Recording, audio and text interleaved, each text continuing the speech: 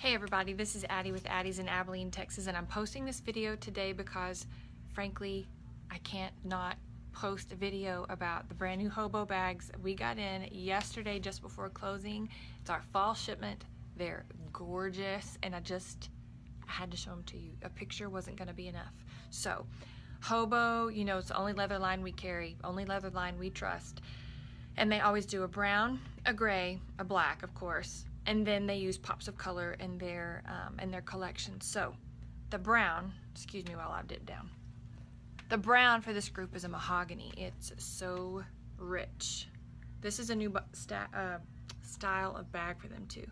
Look at that vintage style clasp up top. I'll show you. Opens up to a big bag. Zip pockets here, a little magic pocket that's great for your cell phone your keys in the back. This is their mahogany. Their gray is what they're calling like a graphite color. And this is a new style bag for them too. Not so big, easy on the shoulder bag. It has a double zip on the top again so you can open it nice and wide.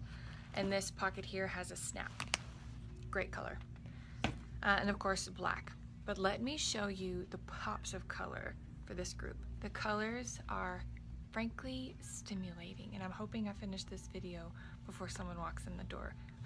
so here we go saffron, royal, and grenadine.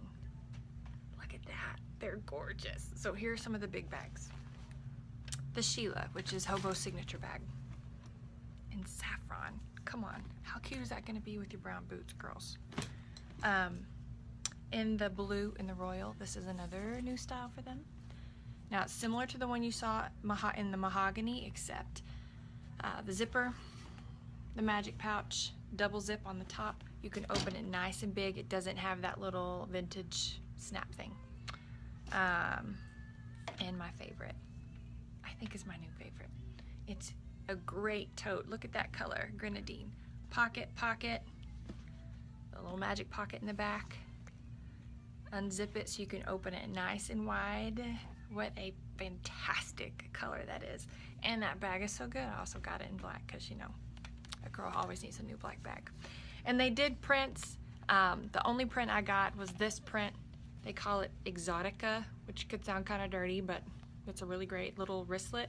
Um, it was the only print that I saw for fall that looked like you girls. So um, this is not, these are not all of our bags. These are just the ones um, that I chose to show you. I can't wait to put them in the window and I can't wait for you to come see them. You know we love you, as always, from Addie's.